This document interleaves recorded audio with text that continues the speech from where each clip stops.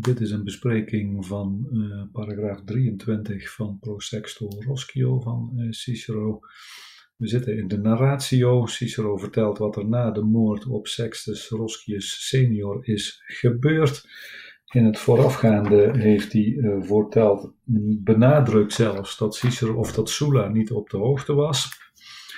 Um, maar dat er een verbond gesloten is tussen de twee broers, Magnus en Capito, en uh, de vrijgelatene van uh, Sulla, die Cicero uh, schildert in, als de grote kwade genius op de achtergrond. dus terwijl die, die twee broers een, een verdrag sluiten met Chrysogonus, komt ondertussen in Teria die dag, dat is dus Magnus, die in de zaal aanwezig is, die door Cicero voortdurend iste wordt genoemd. Je ziet hem wijzen.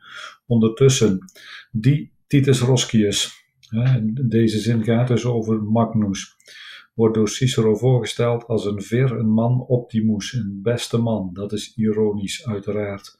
De procurator, de zaakwaarnemer van Chrysogonus. Die komt ondertussen aan, Venit, in Ameria. Uh, wat doet hij? In Praedia huius invadit.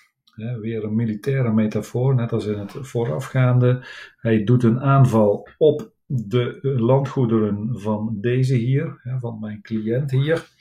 Vertaald met hij neemt die met geweld in bezit. Hunc miserum, deze ongelukkige.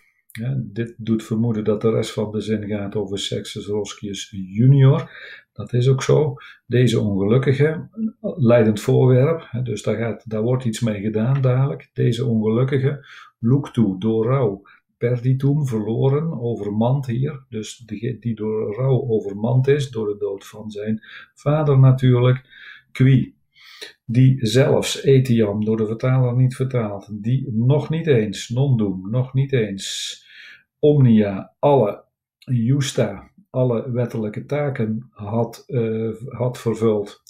De tijd in het Latijn is plusquamperfectum, vertaler heeft vervuld, die nog niet eens alle wettelijke taken, justa, had vervuld, paterno funeri, voor de begrafenis van zijn vader. Wat doet hij daarmee? Hè? Dat was begonnen als leidend voorwerp. Die eikit, die gooit hij eruit, waaruit domo, uit zijn huis, die gooit hij naakt uit zijn huis, staat er letterlijk, berooid uit zijn huis, atque, en hij exturbat, hij verjaagt hem, herenrechters, waar vandaan focis patris disque penatibus. Hij verjaagt hem van de haard van zijn vader, van zijn vaderlijke haard, letterlijk, uit zijn vaderlijke huis, en van zijn dis penatibus.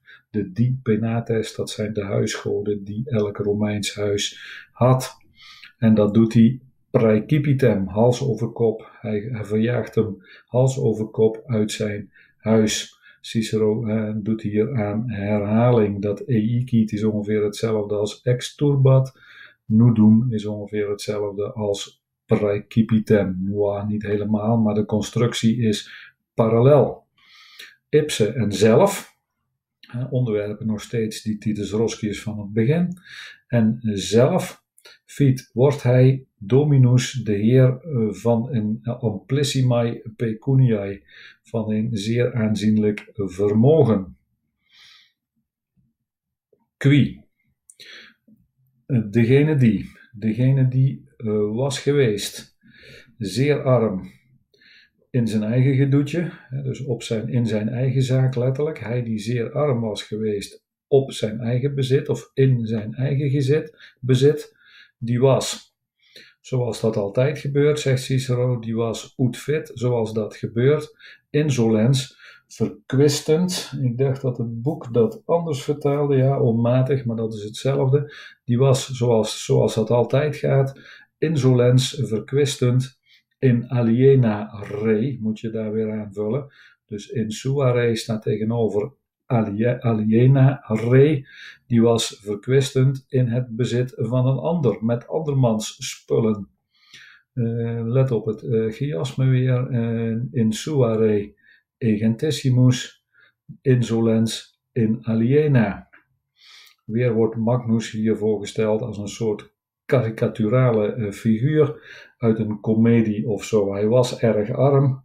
Ineens uh, valt hij omhoog in rijkdom. En dan weet hij niet goed hoe hij daarmee moet omgaan. Multa, veel. Daarna plura, nog meer. En een non-pauca, niet weinig. En de rest van die bezittingen gaat het steeds om. Wat doet hij? Waaruit blijkt dat hij, uh, dat hij insolens is, verkwistend is.